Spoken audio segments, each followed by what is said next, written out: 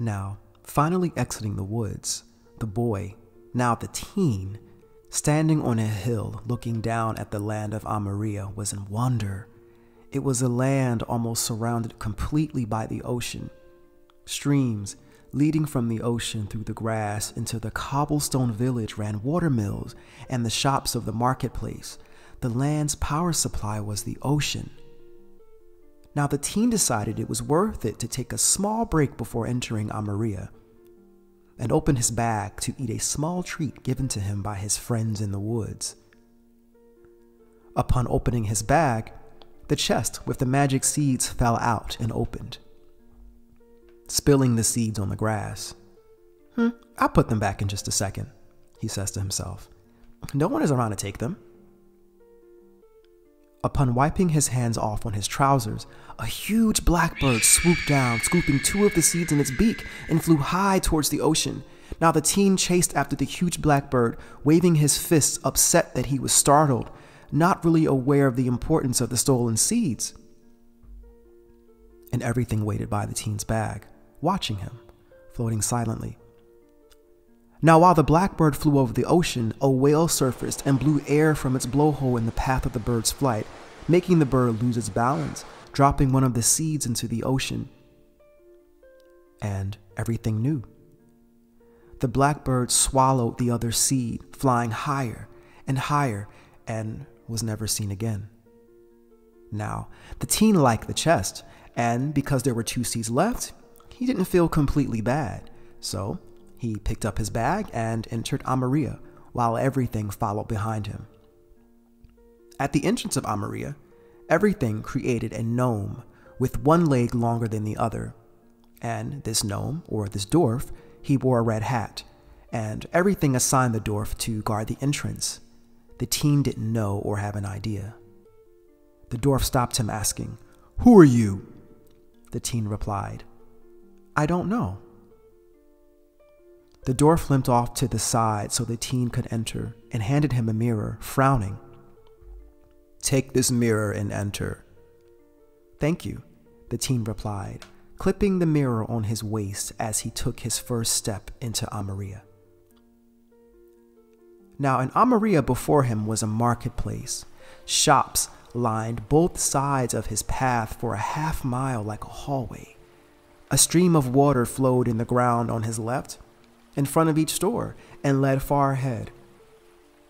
A stream of water flowed in the ground on his right in front of each store and led the same. Behind each shop were water generators to supply power. Small pinwheels planted in front of the shop spun from the currents of the water streams that led far ahead. People walked back and forth from each shop, greeting one another. Big smiles and laughing children ran between the shops. Now, the teen liked Amoria. He felt comfortable there, and everyone was kind, compassionate, and affectionate. Some people sat legs folded under them in deep silence next to their shops and gently smiled while the teen walked by. This was all new to the teen, and he continued to walk along the path of shops and met another teen who arrived to Amoria like he did and they instantly became friends. Months went by of the teen and his friend playing in Amoria, learning new skills and meeting new people. And one day, the teen began to talk about his life in the unknown in a place of time with his friend. The teen shared that he was unseen and barely known. His friend became sad for him and frowned while the teen told the story. The teen looked confused. Why are you sad? What did I do? His friend offered him a hug and told him to look in the mirror he was given. Don't you see? asked the friend. No. The teen saw everything behind him in the mirror and turned around. It's just everything behind me. The friend grabs his own mirror and looks at it. Look here, he says. The teen sees the friend in the mirror. There's another you there, says the teen. Yes, that's why I'm sad for you. You can't see yourself because of the unknown in a place of time. Now, everything floated on a hill in Amoria, watching the teen. The teen wanted to see himself, but could not understand the sadness in the friend. In Amarilla, the teen taught the friend about fishing and shared his fishing experiences when he was younger. He learned how to pull up huge catfish, how to flick his line, and reel the fish in. He knew when to throw the line and what times of the day were best, but he always wanted to pull a fish bigger than catfish. He said, I always feel like there's something bigger in the ocean. I feel it, but I never found it yet. And I've had dreams of catching a huge fish that I could show the world. One day, I'm going to get it. And the friend nodded in agreement. Now, some days the teen would travel through the woods and back to the unknown in a place of time to run errands for his parents, show the new fish he caught, and acquire new foods. Yes, the wall put up between them when he left was down. But whenever the teen would visit, he would turn into the boy again.